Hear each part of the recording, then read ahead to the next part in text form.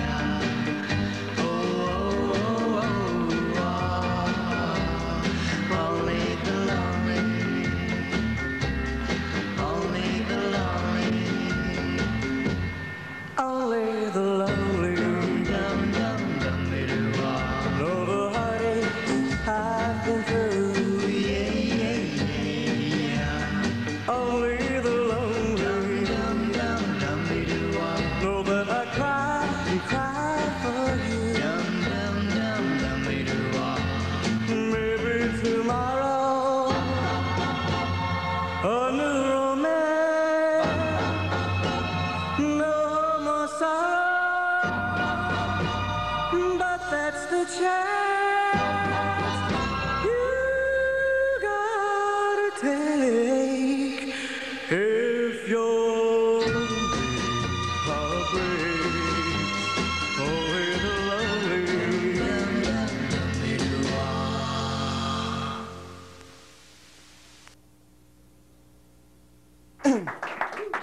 you doing, Lee? Nice to see you. Nice to see you, Will. Okay. Hey, again, welcome to Citi Rock. I was You know, I have a few questions. It's always pretty interesting when somebody does a, a tribute gig like this. You know, uh, people say strange things. They say, look at this guy, he must be a little crazy, you know? But uh, I understand that you've been doing uh, something similar to this for quite a while.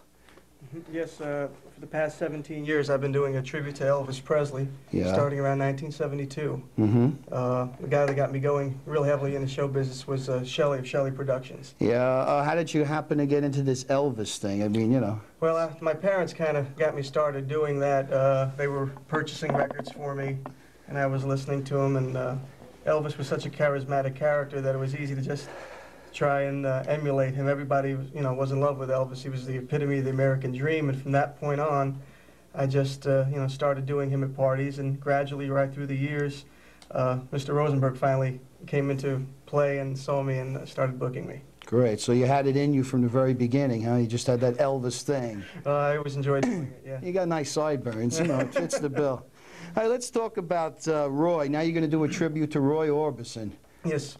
Uh, starting around 1982, we, we also, besides doing the Elvis show, had a, a general overall oldies review that we did, which encompassed uh, music like um, Jay Black, The Americans, Roy Orbison, various other artists. And the one that always stood out was Roy Orbison. Everybody liked uh, his material. So, uh, 19, about 83, we recorded a record. One side, Elvis's song, the other side, Oh Pretty Woman by Orbison.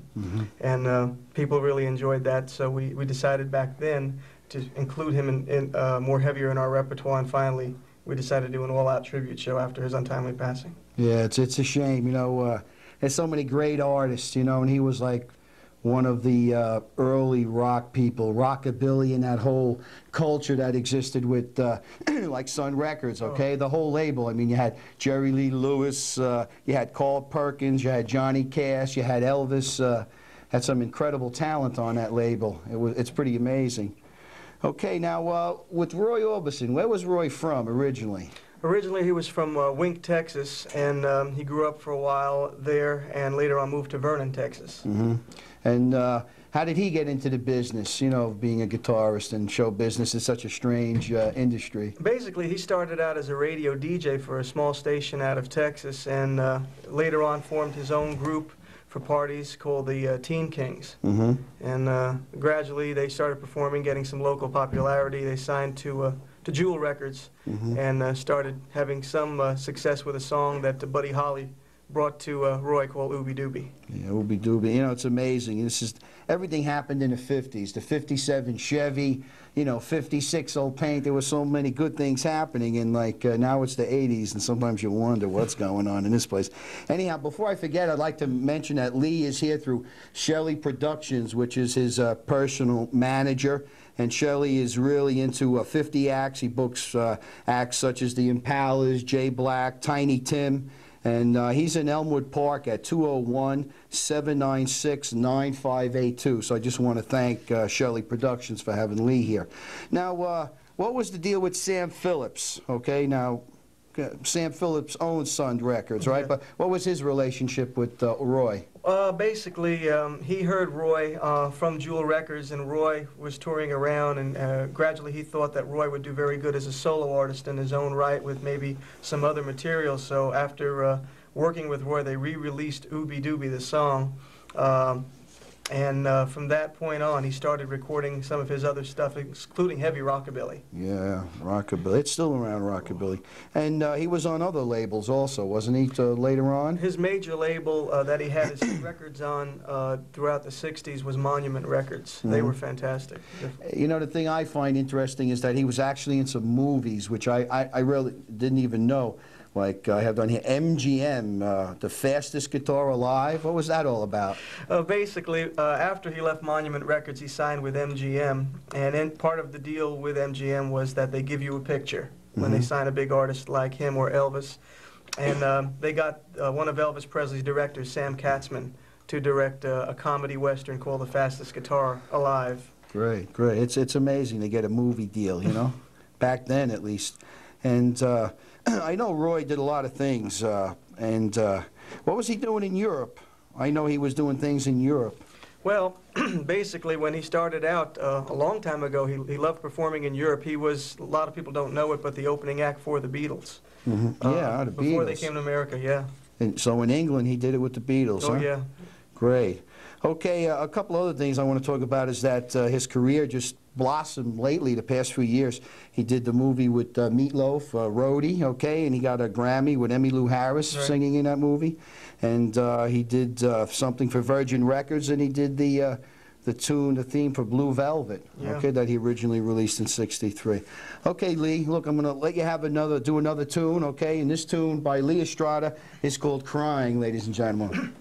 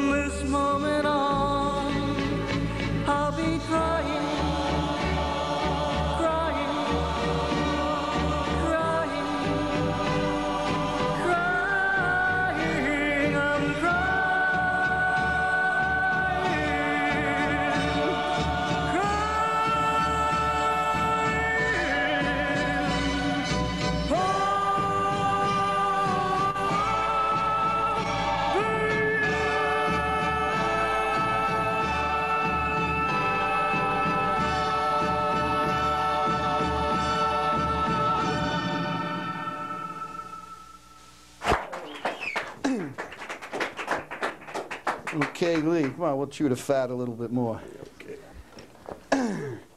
Hey, now you talked about Katzman with the, uh, Roy, and that was Elvis's producer, right? He has produced a lot of his movies. Yeah, and he did, uh, what did he do? He did a movie that was sort of in the same vein, a comedy. Uh, I don't, I know we had talked about it earlier. I don't think we could have came, come up with the name, but it was a, a musical Western comedy, right? Uh, yeah, I believe a, a movie called Tickle Me with Tickle Elvis Me, Presley. huh? Yeah, it was comedies. So, you know, these movies, I wonder where these movies are. I've never seen this movie in my life, you know?